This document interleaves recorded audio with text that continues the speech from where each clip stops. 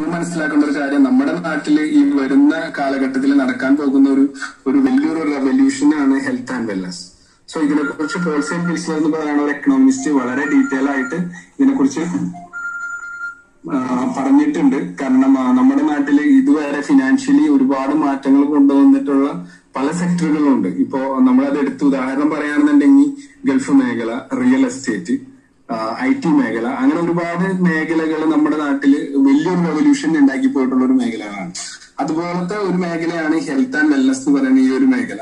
എന്ന് പറഞ്ഞാൽ നമ്മുടെ നാട്ടിൽ നടന്നു പോയിട്ടുള്ള ഈ ഒരു ഈ ഒരു എക്കണോമിക്കൽ മാറ്റങ്ങൾ സംഭവിച്ചിട്ടുള്ള ആ ഒരു മേഖലയുടെ ഏകദേശം ഒരു മൂന്ന് മടങ്ങോളം സാധ്യതയുള്ള ഒരു മേഖലയാണ് ഹെൽത്ത് ആൻഡ് വെൽനസ് സോ അതിനെക്കുറിച്ച് ദ വെൽനസ് റെവല്യൂഷൻ എന്ന് പറയുന്ന ഒരു ബുക്ക് തന്നെ പബ്ലിഷ് ചെയ്തിട്ടുണ്ട്. സോ ഇന്ത്യയിൽ ഏകദേശം ഈ കഴിഞ്ഞ രണ്ടായിരത്തി ഇരുപതിൽ ഒരു ലക്ഷത്തി അമ്പതിനായിരം കോടിയുടെ ടേൺ അപ്പുറം നടന്നു എന്നുള്ളതാണ് റിസർച്ചുകൾ പറയുന്നത്. സോ ഫിക്കി ആൻഡ് ഇവ ഇതിനെക്കുറിച്ച് വലിയൊരു റിപ്പോർട്ട് തന്നെ രണ്ടായിരത്തി പതിനാറിൽ പബ്ലിഷ് ചെയ്തിട്ടുണ്ട്. സോ അതാണ് നമ്മുടെ ഈ ഒരു മേഖലയുടെ സാധ്യത നമ്മൾ മനസ്സിലാക്കേണ്ടത്. ഈ ഒരു മേഖലയുടെ നമ്മൾ ചെയ്തു നിൽക്കുന്നത് നമ്മൾ നിൽക്കുന്ന ഒരു പ്ലാറ്റ്ഫോമിനെ കുറിച്ച് നമുക്ക് അറി- അറിഞ്ഞിരിക്കേണ്ട ഒരു തിരിച്ചറിവാണിത്. ഏതൊരു മേഖലയിലാണ് നമ്മളിപ്പോ സ്റ്റിക്ക് ഓൺ ചെയ്തിട്ടുള്ളത്? സോ ഇതിൽ നമ്മുടെ കമ്പനിയുടെ പേര് ഇൻഡസ്ട്രിവ എന്നാണ്. Indusviva health science private limited. നമ്മുടെ കമ്പനിയുടെ ഹെഡ് ക്വാർട്ടേഴ്സ് ബാംഗ്ലൂരാണ്. ആണ് റോഡാണ് നമ്മുടെ നമ്മുടെ ഹെഡ് ഓഫീസ് വരുന്നത്. നമ്മുടെ കമ്പനിയുടെ മദർ കമ്പനി ബയോ ആക്റ്റീവ്സ് ആണ്. Bio actives Japan corporation. So ടോക്കിയോയിലാണ് നമ്മുടെ കമ്പനിയുടെ മദർ കമ്പനിയുടെ ഹെഡ് ഓഫീസ് വരുന്നത്. സോ നമ്മുടെ കമ്പനിയുടെ ബിബാ ടവർ എന്ന് പറയുന്ന ഓഫീസിലാണ് നമ്മുടെ കമ്പനി പ്രവർത്തിച്ചുകൊണ്ടിരിക്കുന്നത്. നമ്മുടെ പ്രൊഡക്റ്റുകളല്ല ഇപ്പൊ നമ്മൾ നേരത്തെ ഇൻട്രൊഡ്യൂസ് ചെയ്ത എല്ലാ പ്രൊഡക്റ്റുകളും തന്നെ കമ്പനി ഓൺ മാനുഫാക്ചറിങ് ചെയ്തിട്ടുള്ളതാണ്. നമ്മുടെ കമ്പനി തന്നെയാണ് അത് മാനുഫാക്ചർ ചെയ്തിട്ടുള്ളത്. സോ ഇത് ചെയ്യാനായിട്ട് ഇപ്പൊ കമ്പനി ചെയ്യുന്ന ഒരു സിസ്റ്റം നമുക്ക് എല്ലാവർക്കും അറിയാം. ഡയറക്ട് സെല്ലിംഗ് എന്ന് പറയുന്ന അല്ലെങ്കിൽ മൾട്ടി ലെവൽ മാർക്കറ്റിംഗ് എന്ന് പറയുന്ന ഒരു കമ്മ്യൂണിറ്റി കൊമേഴ്സ് അങ്ങനെയും പീപ്പിൾ ഫ്രാഞ്ചൈസി അങ്ങനെ പല രീതിയിൽ നമ്മൾ വിളിക്കുന്ന ഒരു സിസ്റ്റം യൂസ് ചെയ്തുകൊണ്ടാണ് നമ്മൾ ഈ പ്രൊഡക്റ്റുകളെല്ലാം സെയിൽ ചെയ്തുകൊണ്ടിരിക്കുക അല്ലെങ്കിൽ മാർക്കറ്റ് ചെയ്തുകൊണ്ടിരിക്കുന്നത് സോ ഇത് ചെയ്യാനായിട്ട് രണ്ടായിരത്തി പതിനാറിൽ സെൻട്രൽ ഗവൺമെന്റ് ഒരു നിയമം കൊണ്ടുവന്നു. ആ നിയമം കൊണ്ടുവന്ന സമയത്ത് ഫസ്റ്റ് ലൈസൻസ് ചെയ്തിട്ടുള്ള ഒരു കമ്പനിയാണ് നമ്മുടെ ഇൻഡസ് വിവ എന്ന് പറയുന്നത്. സോ രണ്ടായിരത്തി പതിനാറും പതിനേഴും നമുക്ക് ബെസ്റ്റ് ന്യൂട്രാസ്യൂട്ടിക്കൽ എക്സ്പെർട്ട് എന്നുള്ള അവാർഡ് നമ്മുടെ കമ്പനിക്ക് ഉണ്ട്. പിന്നെ ഇതിൽ നമ്മുടെ കെ പി എം ജി എന്ന് പറയുന്ന ഓഡിറ്റിംഗ് ഫാമാണ് നമ്മുടെ കമ്പനീനെ ഓഡിറ്റ് ചെയ്യുന്നത് നമ്മുടെ പ്രൊഡക്റ്റുകളെല്ലാം സിസ്കാറിന്റെ I S O nine one thousand fifteen certified ആണ്. ഫിക്കിയിലെ യങ്സ്റ്റ് മെമ്പർ ആണ് നമ്മുടെ കമ്പനി ഫിക്കി എന്ന് പറഞ്ഞു കഴിഞ്ഞാൽ നമ്മുടെ ഇന്ത്യയിലെ തന്നെ വ്യാപാരി ഏകോപന സമിതി.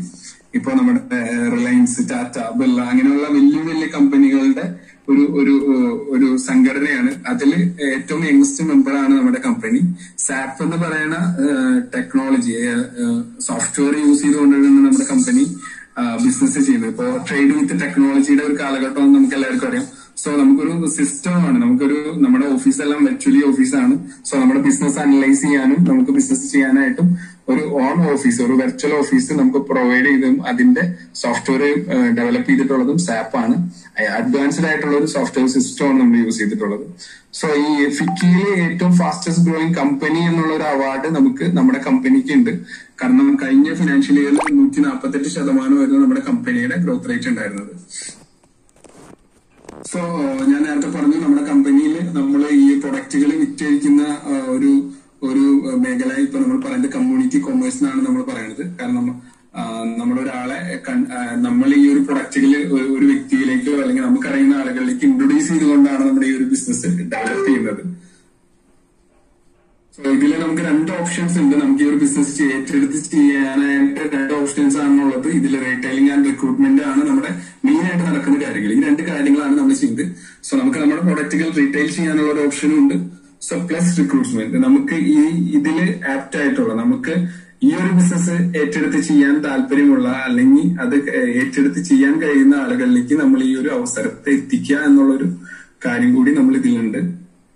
സോ ഇത് എങ്ങനെയാണ് ചെയ്യുന്നത്? അപ്പൊ ഞാൻ പറഞ്ഞു ഇത് നമ്മൾ സ്റ്റാർട്ട് ചെയ്ത ഒരാൾ ഇത് എങ്ങനെയാണ് നമ്മൾ മറ്റൊരു വ്യക്തിയിലേക്ക് നമുക്ക് എത്തിക്കാന്ന് അതിൽ വളരെ ഇമ്പോർട്ടന്റ് ആയിട്ടുള്ള ഒരു കാര്യമാണ്. നമ്മൾ ലിസ്റ്റ് ബിൽഡിംഗ് എന്ന് പറയുന്നത്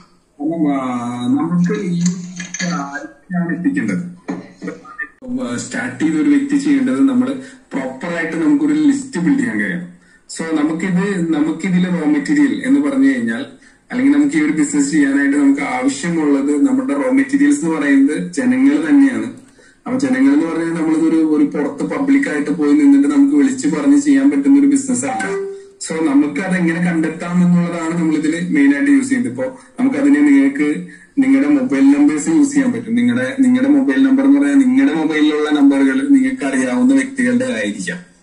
സോ അത് യൂസ് ചെയ്തുകൊണ്ട് നിങ്ങൾക്ക് ആളുകളെ ഇത് ഈ ഒരു ബിസിനസ്സിലേക്ക് ഇൻട്രൊഡ്യൂസ് ചെയ്യാൻ പറ്റും. സോ അപ്പോ നിങ്ങൾക്ക് മൊബൈൽ നമ്പർ യൂസ് ചെയ്യാം. അങ്ങനെ ആ ഒരു ലിസ്റ്റ് ഉണ്ടാക്കാനായിട്ട്.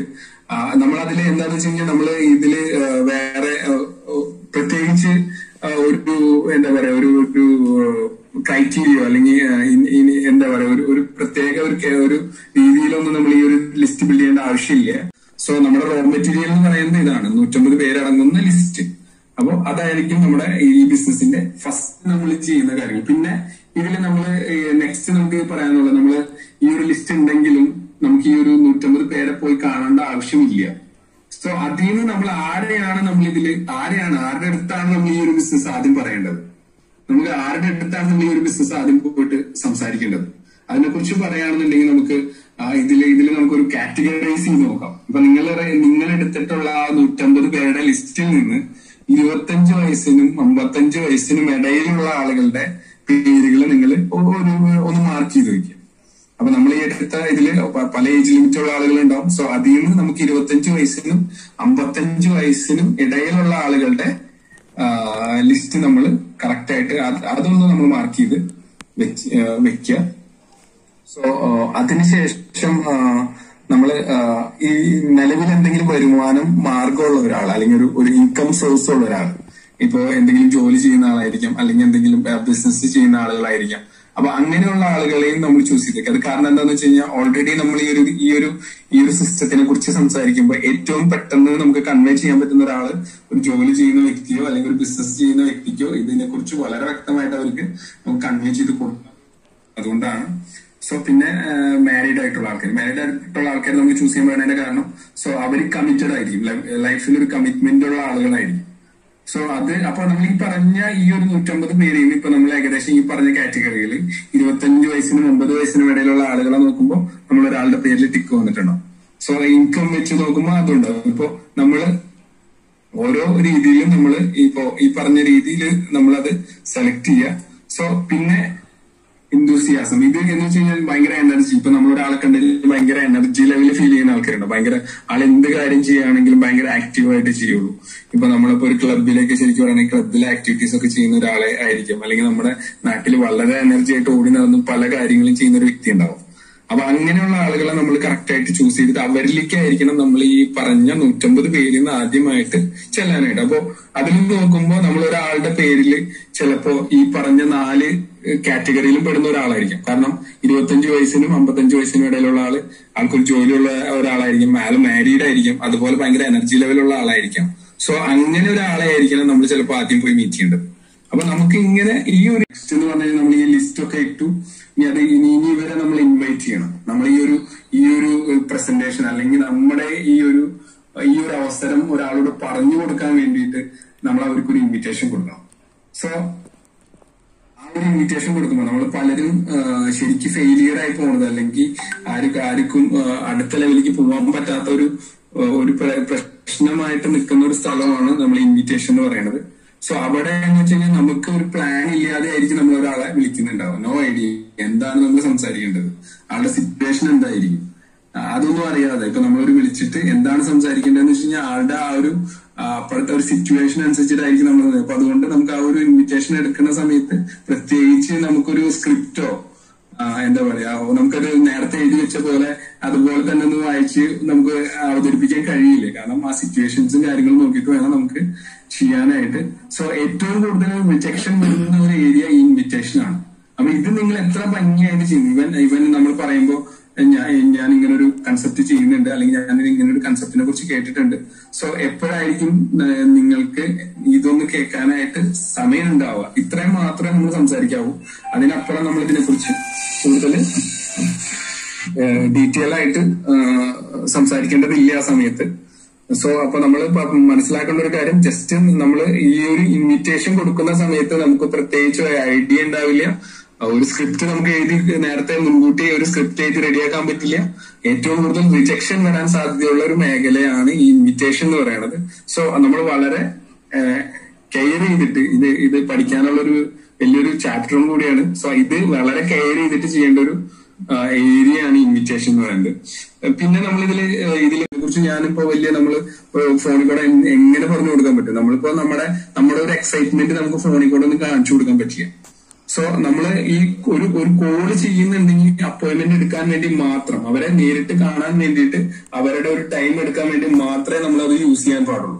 സോ അതാണ് ഞാൻ അതാണ് നമ്മൾ ഇതിൽ മനസ്സിലാക്കേണ്ട ഒരു കാര്യം.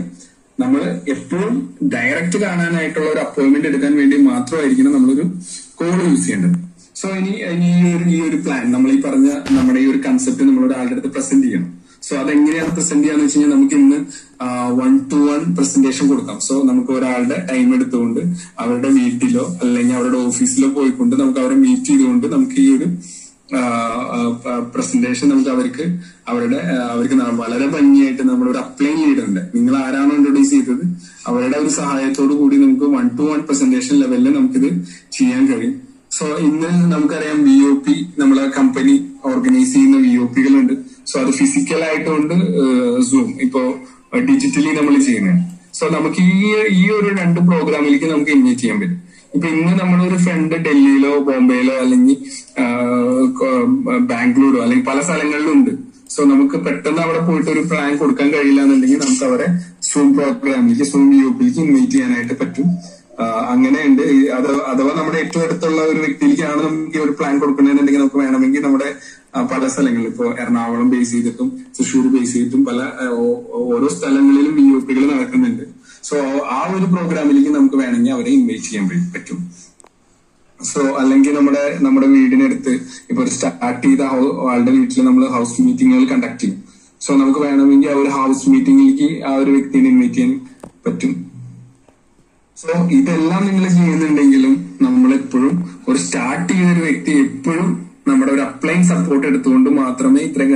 ചെയ്യാൻ പാടുള്ളൂ.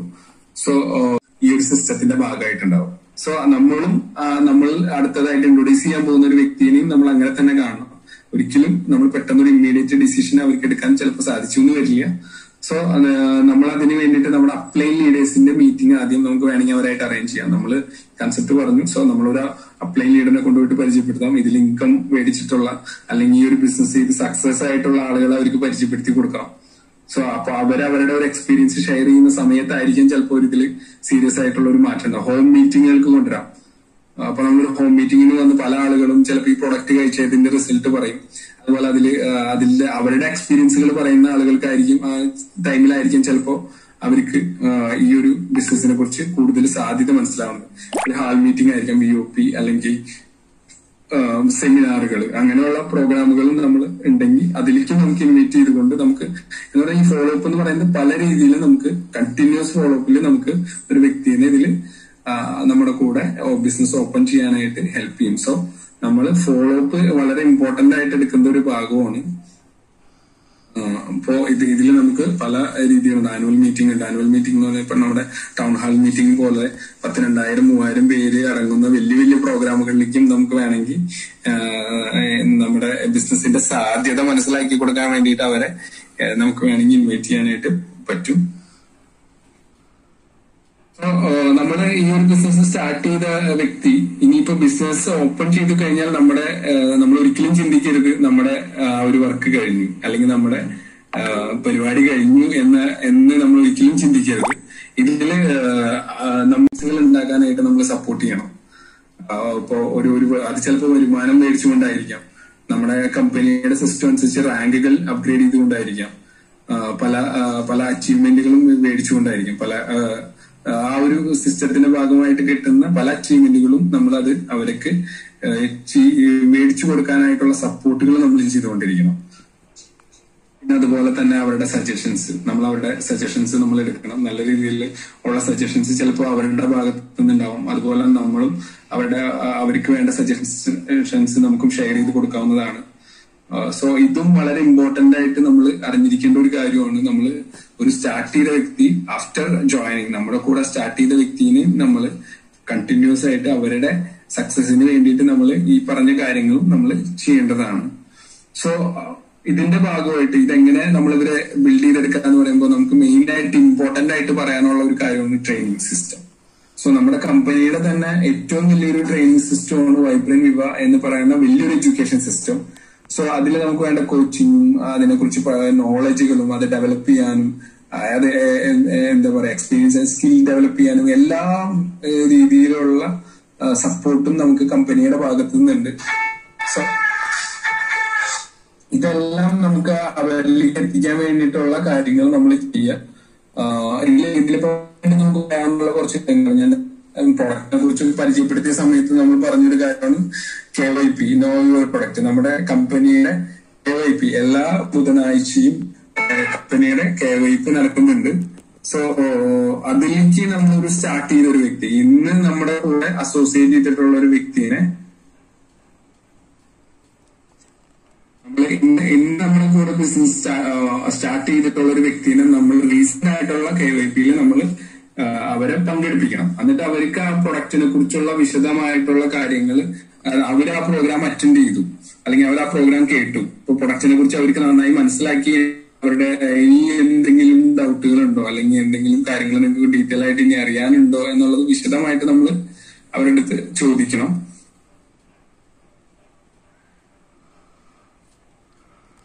റീസെന്റ് ഈ പറഞ്ഞ പ്രോഗ്രാമുകളും അറ്റൻഡ് ചെയ്തിട്ടുണ്ട്. നമ്മുടെ കൂടെ ബിസിനസ് സ്റ്റാർട്ട് ചെയ്ത ഒരു വ്യക്തി സീരിയസ് ആയിട്ട് ബിസിനസ് ചെയ്യാൻ വന്നിരിക്കുന്ന ഒരു വ്യക്തി ഈ പറഞ്ഞ മൂന്ന് പ്രോഗ്രാമുകളും അറ്റൻഡ് ചെയ്യാനായിട്ട് നമ്മളത് ശ്രദ്ധിക്കണം. വളരെ ഇമ്പോർട്ടന്റ് ആയിട്ടുള്ള ഒരു കാര്യമാണ്. സോ ഇതാണ് നമ്മുടെ ട്രെയിനിങ് നമുക്ക് അവർക്ക് കൊടുക്കാൻ പ്രൊവൈഡ് ചെയ്യാൻ പറ്റുന്ന ട്രെയിനിങ്ങുകളാണ് സോ ഇതിനെ കുറിച്ച് നമ്മുടെ ഒരു ഡയറക്ട് സെല്ലിങ്ങിന്റെ ഫ്യൂച്ചറിനെ കുറിച്ച് നമുക്ക് പറയുകയാണെന്നുണ്ടെങ്കിൽ ഇപ്പൊ ഇന്ത്യയിൽ നമ്മൾ നോക്കുകയാണെങ്കിൽ തന്നെ കഴിഞ്ഞ രണ്ടായിരത്തി പതിനെട്ട് പത്തൊമ്പത് കാലഘട്ടത്തിൽ ഇന്ത്യയിൽ direct selling industry world wide ശരിക്ക് പറഞ്ഞാൽ ഒരു ഗ്രോത്ത് ഉണ്ടാക്കിയിട്ടുള്ളത് ഏകദേശം ഇരുന്നൂറ് ബില്യൺ ഡോളറിന്റെ സെയിലാണ് നമുക്ക് ഇവിടുന്ന് ഉണ്ടാക്കിയിട്ടുള്ളത്. അല്ലെങ്കിൽ ആ ഒരു ആ ഒരു ഗ്രോത്ത് ആണ് അവിടെ കാണിച്ചിട്ടുള്ളത്. സോ അത് രണ്ടായിരത്തി പതിനെട്ട് പത്തൊമ്പത് കാലഘട്ടത്തിൽ ഇന്ത്യയിൽ രണ്ട് ബില്യൺ മാത്രമാണ് കാണിച്ചിട്ടുള്ളത്. സെയിൽ മാത്രമാണ് നമ്മൾ ആ ഒരു കാലഘട്ടത്തിൽ ഇന്ത്യയിൽ നടന്നിട്ടുള്ളൂ. പക്ഷെ നമ്മളിത് മനസ്സിലാക്കേണ്ട ഒരു കാര്യം ഈ വരുന്ന രണ്ടായിരത്തി മുപ്പത് കഴിയുന്നതോടുകൂടി ഇന്ത്യയിൽ ഏകദേശം മുപ്പത്തഞ്ച് ബില്യൺ തൊട്ട് നാൽപ്പത് ബില്യൺ ഡോളർ വരെ ഗ്രോത്ത് ഉണ്ടാവാൻ സാധ്യതയുള്ള ഒരു മേഖലയാണ് നമ്മുടെ ഈ, ഒരു ഇൻഡസ്ട്രി എന്ന് പറയുന്നത്. ഡയറക്ട് സെല്ലിംഗ് എന്ന് പറയുന്ന ഒരു ഇൻഡസ്ട്രി. സോ ഇത് ഇത് ശരിക്കും പറഞ്ഞാൽ ആ ഒരു വളർച്ചയുടെ കാലഘട്ടത്തിലാണ് നമ്മളെല്ലാവരും ഉള്ളത്.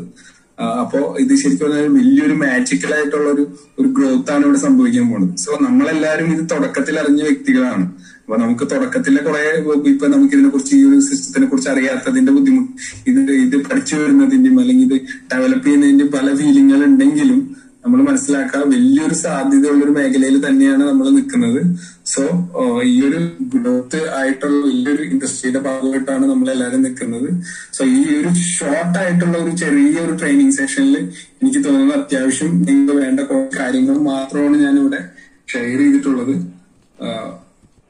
So thank you